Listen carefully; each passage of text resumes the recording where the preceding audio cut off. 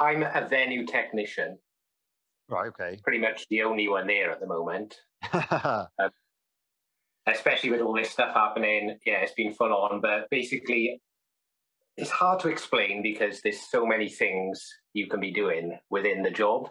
I was going to say, yeah, and, it does seem like you do a lot. And what with like, obviously, you get gigs coming in, you get ice shows coming in, you get comedians coming in, you get like kids kids TV shows coming in. We also do like smaller comedy gigs in like some of the little bars, which that's more on us rather than a production coming in. It would be me hiring all the PAs, setting it up, and actually running the event myself. Wow, I didn't know you did that. like that.